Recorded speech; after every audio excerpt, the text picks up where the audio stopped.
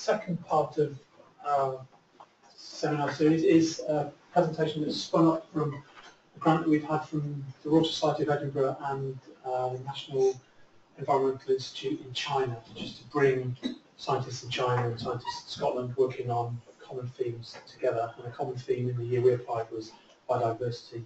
So the grant was on kind of jellyfish biodiversity. And we pushed that a little to work on the impacts of jellyfish upon uh, farm fish. So we've got Dr.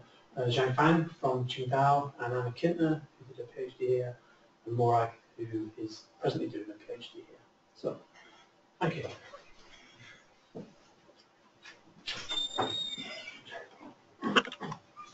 Uh, thank you, everyone. I'm uh, Fang Zhang from the Institute of Oceanology, Chinese Academy of Sciences.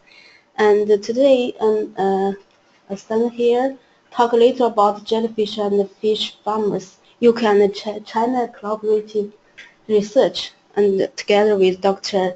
Uh, Anna and uh, Morag.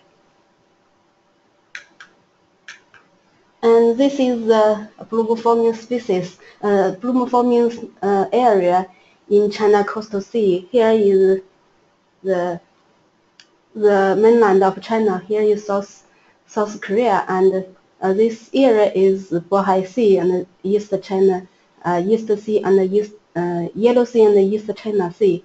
Here is the uh, location of our institute, institute, and also uh, this area is uh, the Jiaozhou Bay. And um, the from the end of the last century, bloom, the jellyfish bloom occurred in the uh, the uh, coastal sea of uh, China. And and this is the most blue forming species, this Nemopilema nomurai. And this this species distributed very extensive and uh, it's distributed in the East Asia marginal seas. And uh, and this is the uh, most, uh, um, th this is the, the, species we, we focus on in the jellyfish, pro jellyfish China jellyfish program. Last year, I gave a, a presentation here about this species, but uh, today we will not give, uh, focus on this species. And another species is Cyanea nozakii, and they dis distributed the coastal sea of this coastline of the, the China coastal sea. And uh, another species is Aurelia uh, SP1, and uh, this species is very popular species and uh, also is a relative species uh, to the UK um, uh, coastal line. It's distributed in the coastal line with high production and higher uh, eutrophication. And this species, um, because from 2008 to uh, th this year, uh, they have many uh, bloom events, and um, they uh, cloud cloud the intake screens of the the um, power plant in in uh, Liaoning Liaoning province and also Shandong province and also uh, Hebei province. So it uh, caused the very large disaster uh, there. So uh, that's we why focus on this species.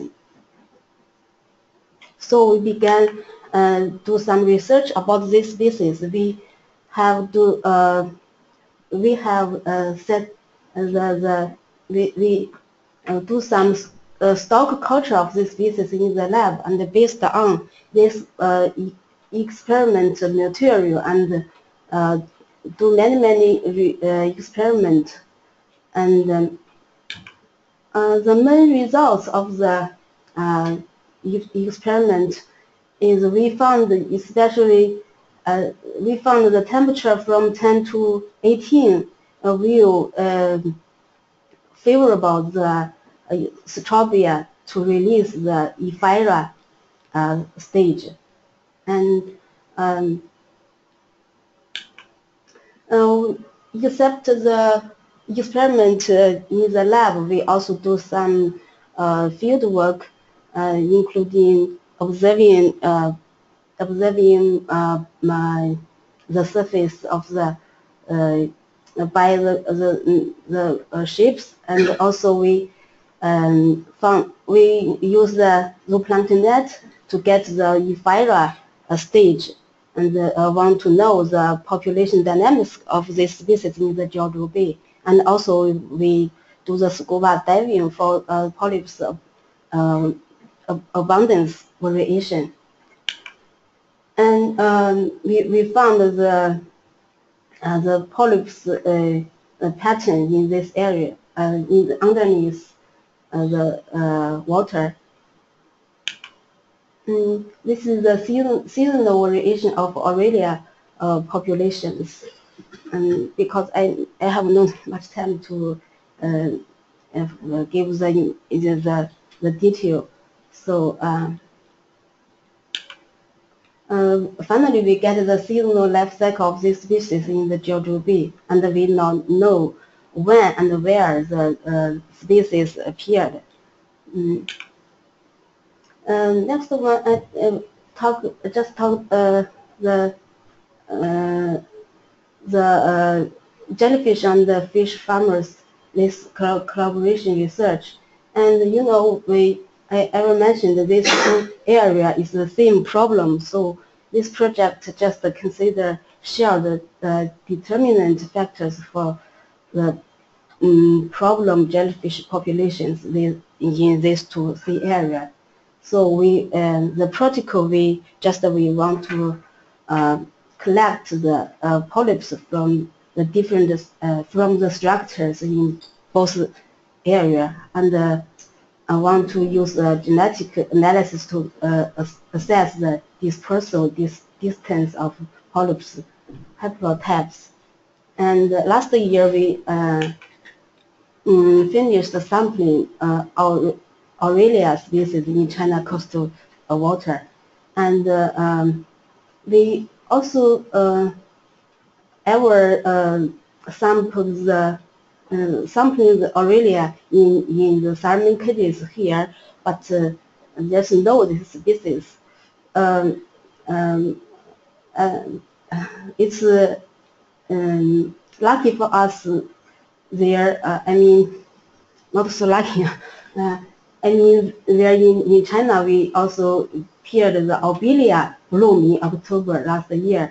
So there also have a relative this uh, this same species Obelia uh, relative to to the um, UK salmon cages.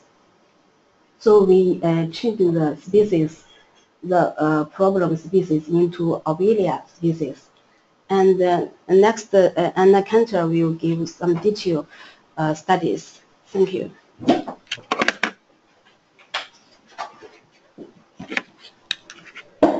So as Zhang Fang pointed out, um, we didn't find Aurelia to do our original intended study. So we decided to piggyback on another study that I had uh, worked on as, again, part of a MASTS PECRE grant, so same grant that um, Lynette had. Um, so I already had a, a sort of stopgap, well, well, a backstop um, database, and we could add some more sites to that um, that would make it um, robust enough to, to do a similar comparison as Zhang and I had been hoping to do with Aurelia. And kind of what happened with Aurelia was that we'd found it under salmon cages and salmon barges um, here uh, three summers ago in 2013. Um, so we, we, built this project around the notion that we'd go back to finding them. But what had happened in the meantime was that I made the mistake of telling the salmon companies that they were hosting um, these polyps, and they said, "Oh shit," and clean them all off. So um, that was really good, really good um, practice to make sure that they were being good marine stewards, but not so good for our uh, planned study. So um, next time you find something cool like that, keep a lid on it until you've done taking your samples. Um, so as I said, we can move over to Obelia, which is um, useful in this regard because it does heavily colonize a lot of salmon farms. Um, they've got, they usually are pretty lax about keeping the kelp off the sides of their um, their feed barges and their walkway structures. Um, they're pretty good about the, the cages themselves, but the, the sort of more static structures tend to be very heavily colonized by kelp, and then you get a lot of um, this lacy hydroid Obelia geniculata all over them. And since they have a comparable um, life cycle and a comparable time in the plankton to Aurelia, we can say, all right, we'll, we'll use that as a model instead. Um, and so the other thing was that in 2012, I'd noticed a dieback of Aurelia, which had kind of kicked this whole thing off. So um, that looked like an opportunity to collect um, collect some samples before the dieback was recovered. So if, if we get um, a statistical sample from a number of sites uh, before the, a recolonization event occurs while they, they float around in their um, planktonic phase, then, or sorry, planktic, Andy, Andy keeps picking me up on that, um, then uh, you can get an idea of where the recolonization has happened um, and what, what sources um, have, have provided that after the recolonization event. So um, originally we had these three regions, uh, the northwest of Scotland, north of Skye, um, Orkney and North. We tried to get exclusively Orkney, but it turns out Orkney is a real bear to sample sometimes.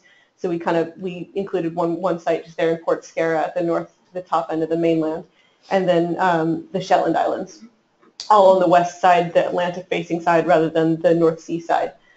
Um, we amplified and sequenced the MTCO1 um, gene and use that as the comparison um, to look at how far the larvae were dispersing and how similar those areas were. Um, so we found that in our sample that there is weak regional south-north definition, um, which I'll spare you the AMOVA details, but there, um, there wasn't as much as I expected based on the time reported that they're, sp they're spending in the plankton. Um, Shetland and the Northwest mainland are very distinct, definitely different populations with some haplotypic overlap, but statistically significant um, differences in the assemblage. And Orkney could fit in either place. So if you park it in with your Shetland results, you get a statistically significant result. If you park it in with your Northwest mainland results, you get a statistically significant result. Some of that is probably down to how difficult it was to sample so that its um, overall sample size is a little bit lower, but it, it is somewhat along what you'd expect based on um, a northern um, carriage of the, the, plank, the, plankton by the currents. Um, but because they are traveling so far, it does suggest they're going to be a little bit harder to control than um, we might have suggested. Um, and Morag, I'll leave that to Morag to explain why we might want to control them. Um, but if we zoom out from that local phylogeny to a, a, a sort of larger scale, these, this, this chart considers some data that was taken um, in 2001, 2002 um, from a previous study. So it, part, it takes the same, same uh, mitochondrial gene marker um, and includes some, some different site samples. So um, parts of New Zealand and Japan. And you can see that there's three really distinct branches in that phylogeny. Japan is very much off on its own. New Zealand also very much off on its own. But the weird thing is what the heck's up with the North Atlantic? There's a lot in there that should be differentiated and it's just not. So if we blow up just the North Atlantic, there's, there's very little branching in there. Um, and that's inclusive of some very distant sites. Um, so that's, that's really kind of going against what I found with a more local strategy, and it's also um, going against what you'd expect just by looking at how, how far they're dispersed, well, predicting how far they're dispersing as plankton. So there's possible limitations to that study. First of all, they had a shorter read length, um, and, and some of the um, major polymorphisms are found at the, the end of the, the MTCO1 gene that, that weren't captured in the original study's read lengths. She also used um, far more limited samples. So you look at the Woods Hole sample, and it's about five total um, individuals sampled. Um, and whereas we had something like, you know, six different sites with um, six, six to 10 sequences from one single area in just Shetland. So it's not as, as high re resolution or statistical power. And the other really interesting thing to consider here is that because this was sampled in 2002, we might have this, this panmictic look occurring just as an artifact of time. So if this was 2002, these were sampled in 2013, 2014, have they just had plenty of time to get stirred? Um, so hopefully the fresh comparisons that Zhang Fang and I will be able to do with our new sites will clear some of that up. So we have four new sites with um, multiple samples from each in the Hebrides taken from salmon farms. Um, a further four new sites in uh, Lochaber and Loch Lochalsh from 2015. Um, from 2014, we have five sites in the Gulf of Maine, north of Cape Cod, which is its own kind of distinct um, ecosystem there, and three sites south of Cape Cod as well.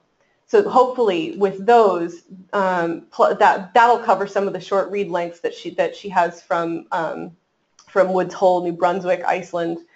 Um, well, not Iceland, but certainly the the Canadian Maritimes, New England area sites would would be covered there. So hopefully this uh, with longer reads, that branch will get broken down a little bit better. Um, and then we can make a further comparison looking at the looking at some um, animals from Jiaozhou Bay if we're um, successful in, in, sampling those um, and looking at where they park in with the Pacific sites. So is that itself yet another separate branch or do you see um, a time artifact of panmixis occurring here? Um, so do they, does it, does it plug in in the middle of the Japanese samples, for example, and could we say, okay, well, if there is this artificial panmixis occurring um, as a result of time here, then we can probably blame this on that as well. So um, that, with that, I'm going to turn it over to Morag, who will tell you why we might care about Obelia, even if it's only just a substitute for Aurelia. Thanks, guys. Thanks for your patience. Nearly done. Um, yeah, so what I want to talk to you about today is the, the work moving on from the collaboration between and Fang, and that's the interaction of jellyfish and Atlantic salmon, um, specifically farmed Atlantic salmon on the west coast of Scotland. So we discussed a little bit earlier about large blooms of jellyfish and the, the implications they can have on power stations, but they also have massive implications for fish farming, which is particularly relevant in Scotland uh, for our economy. Um, it's been quite well publicised previously in the past. Large blooms of jellyfish can lead to mass kill-offs of salmon, um, what isn't very well understood is why this occurs. Um, it's presumed to be due to the physical damage caused by the stinging of the nematocysts, that's the stinging organelles of the jellyfish species, and the um, envenomation, so the injection of the toxin, which leads to fish death, uh, with a presumptive cause of stress um, leading to impaired osmoregulation and impaired respiration from damage to the gill tissue. Um, what hasn't been well explored is the effect of sort of lower magnitude blooms of jellyfish on sort of salmon health. Um, there's been a, a, small number of studies, uh, seen at the bottom here, um, by um, Delannoy, that's, um, he's based in Ireland, but uh, their study was looking at Shetland, where uh, a large bloom of jellyfish uh, was shown to uh, be, they were shown to be vectors of bacterial disease. So Tenacibaculum maritimum is the causative agent of tenacibaculosis, which is a gill infection in Atlantic salmon. And um, following a bloom of these uh, jellyfish species, Pelagia noctiluca, um, the fish came down with tenacibaculosis in their gills. Uh, and when they investigated, they found genetically identical Tenacibaculum maritimum present on the surface of the jellyfish, as well as in the gill lesions, which was very interesting, but unfortunately they weren't able to conclusively um, determine whether the transfer was from the jellyfish to the gill surface of the salmon, or whether it was in the other direction, whether the Tenacibaculum maritimum had always been present on the, uh, the gill surface and the transfer was actually to the jellyfish. Um, very little is known about the microbiome of jellyfish in general, uh, which uh, is unfortunate, but luckily for me, uh, an interesting subject for investigation. So what I've been doing at the moment is I have samples from various locations around Shetland. You might recognise this map from earlier because I stole it directly from Anna's presentation.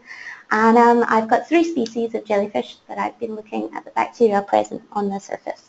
Um, this graph is just to illustrate um, Cyanea capillata, which you might be familiar with, is uh, the lion's mane jellyfish, and it's um, well known to cause uh, stinging lesions in, in sort of uh, in bathers in humans, and therefore it's easy enough for people to understand that it's also going to cause lesions to the, delicate, the delicate gill tissue of Atlantic salmon. However, these smaller species, Obelia and Neoturris, um, are not as commonly associated with um, stinging syndromes in humans. But it's important to remember that the gill tissue of Atlantic salmon is only, you know, one to two epithelial cell cells thick.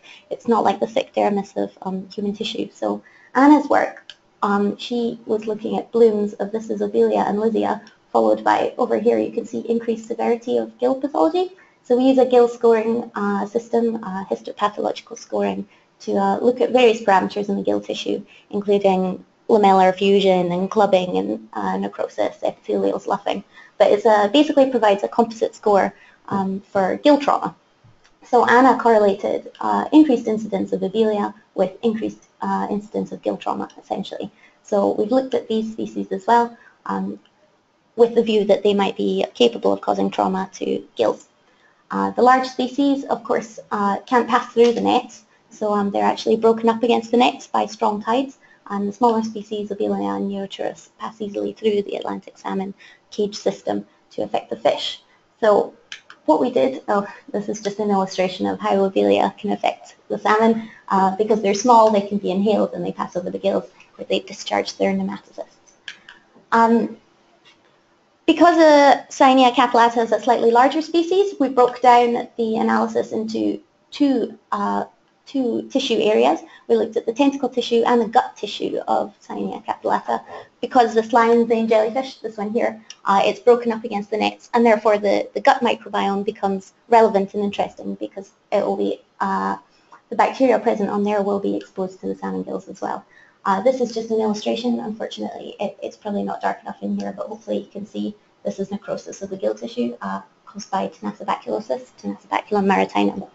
So what we did is uh, we cultured uh, a variety of bacteria from the surface of the three species of jellyfish and uh, we had a look at, this is a, a breakdown of the familial uh, bacterial families present and um, on the pie chart here you can see that the tentacles in the gut vary, uh, which was very interesting actually because that suggests the, the, sorry, supports the hypothesis that um, there might be a core microbiome present in the different areas of these jellyfish. But um, basically the summary of this work for, for the relevance for my project is that um, there's a variety of families of bacteria present here, some of which contain potential salmon pathogens. So there's a variety of bacterial pathogens in the marine environment that can cause uh, lesions and, and disease in Atlantic salmon gills. And um, I wanted to focus on um, further identification of, of, whether these pathogens were present in our bacterial samples from the from the jellyfish surface tissue. So uh, with 16S sequencing, we were able to determine um, bacterial identity to genus level, and with further sequencing targeted um, for Aeromonas, Pseudomonas, and Vibrio in the samples that were known to contain these bacteria, uh, I've been investigating for the presence of these pathogens. And uh, I found some, which was a relief. Uh, I have found Aeromonas salmonicida, which, as you can imagine from the name, is a pathogen of Atlantic salmon.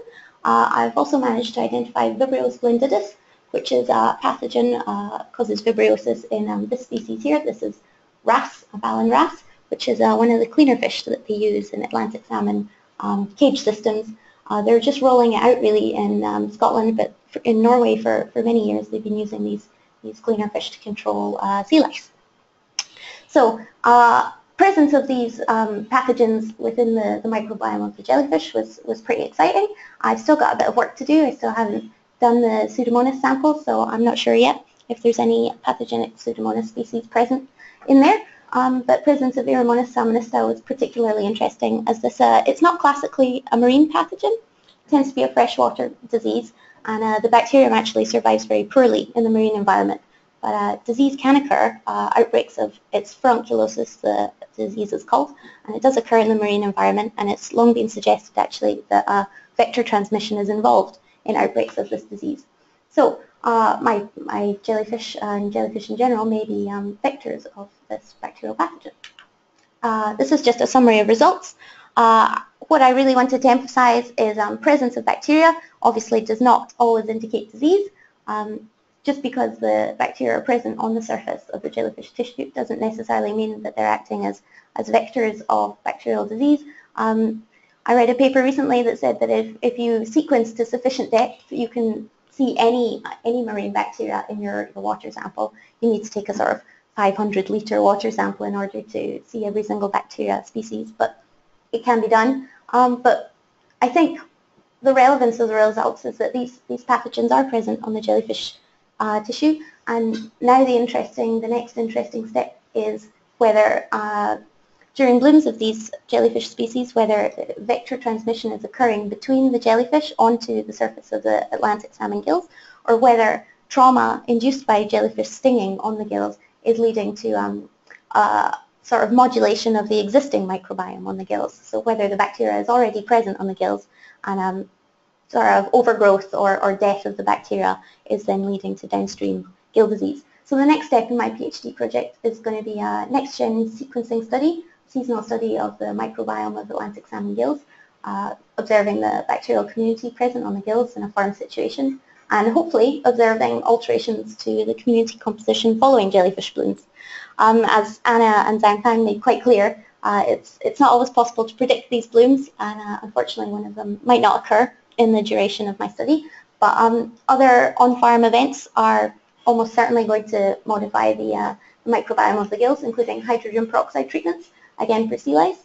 Uh, so I expect to see at least modulation of the uh, microbiome that way as well. And uh, yeah, I'd just like to thank everyone on behalf of Anna and Zhang Fang as well for, for listening and taking the time to come to our talk. And uh, if there's any questions. Oh, we have a thank you slide as well. Uh, yeah, that's it. Thank you.